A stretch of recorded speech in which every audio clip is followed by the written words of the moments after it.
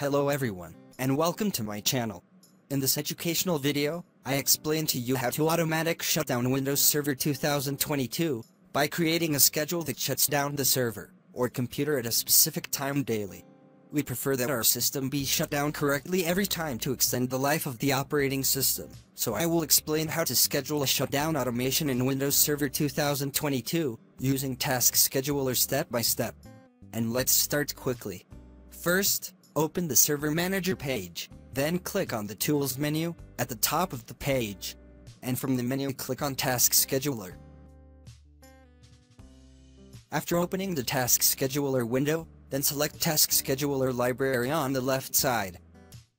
Then click Create Task on the right to create a new scheduled task. The Create Task window will open. The first thing to make sure is that you are on the General tab. After that, enter an appropriate name for this task. I will call it Shutdown, so that it is easy to access later if you have many tasks. And also, enter the appropriate description for this task, and in the Security Options section, select or enable Run whether the user is logged on, or not.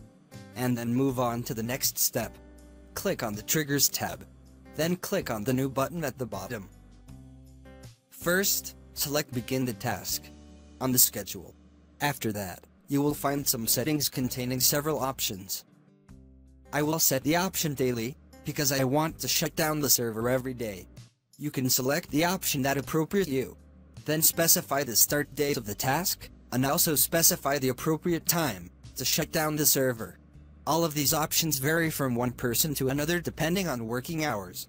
After selecting all the appropriate options for you, click the OK button. Go to the Action tab, and from there also click on the New button to create the appropriate action for this task. Then select for action, Start a program. To select a program or script, click on the Browse button, and go to the path that appears in front of you on the screen.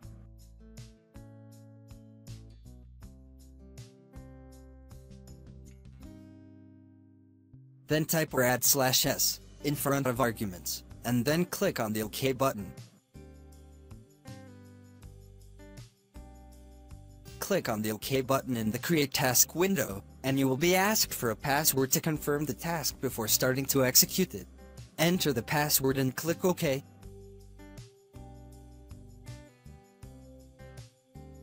Thus, a task was created to shut down Windows Server 2022 by creating a schedule, and the task will begin executing at the time that was specified.